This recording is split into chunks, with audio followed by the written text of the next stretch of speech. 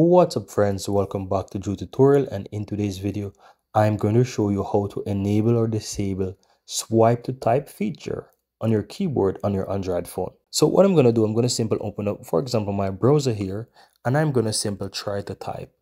And as you can see, I tried to do the swipe to type, but it is not currently on, right? So it's currently disabled. So when I try to swipe to type, it's just trying to hit each key, but not performing this feature. Now, how do we enable this? You want to go ahead and you want to go to settings on your phone. So swipe up and you can either search for settings or you can look for it in the options there.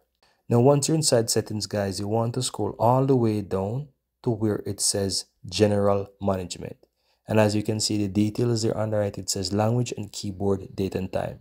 So this is where you need to go to access your keyboard settings. From here, you want to click on the Samsung keyboard settings because I'm currently using a Samsung phone so I have to go to these settings but you will be able to find keyboard settings if you're using a different Android phone. The steps will be the same because most Android setup will have the same. The naming might be a little bit different but the steps will be clear.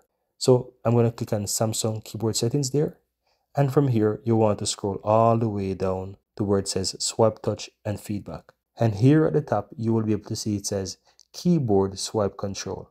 And as you can see below that, it says no swipe gesture. And that's why when I go to my keyboard, I'm not able to do the swipe gesture to type.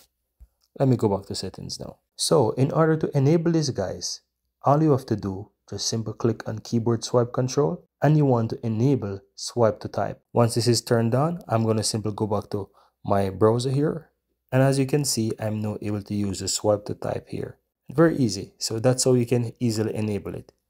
And as I said, in order to disable it, you need to go back, take the same steps, and you want to simply open up the swipe, touch and feedback, click on keyboards, and you want to go ahead and you can turn it off.